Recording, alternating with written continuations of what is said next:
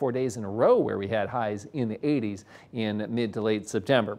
Iola today 61, 59 in Marshfield and 60 for your high in Neillsville. We should have a good amount of sunshine in the Northwoods, a little cooler, especially in Manitowish Waters, only 54 kind of a crisp fall day there. 57 in Elcho and 58 for your high in Merrill. And our future track really not showing too much going on for today or the next couple of days. Yeah, the only uh, little sprinkles might be over toward Lake Michigan today. And we'll have uh, mainly clear sky for tonight. And those areas that do remain clear will likely have some frost. So if you haven't had frost yet, if you're not getting frost this morning, tomorrow morning, there's a good chance it'll happen. Now, as we head through your Friday, again, a good amount of sunshine is likely.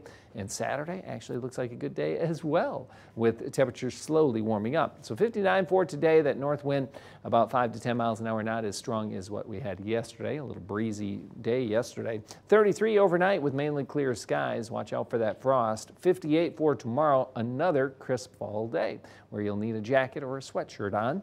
Uh, but overall, still pretty nice. And Saturday, nice day, high 62. And finally getting back up to normal on Sunday, a high of 67. It'll be a little bit breezy out there on Sunday afternoon and into Monday. But overall, still, like I said, nice fall weather. And it'll be rising into the 70s next week, looking for a high of 74 on Tuesday, mid 70s again on Wednesday. Now, your News 9 Sports.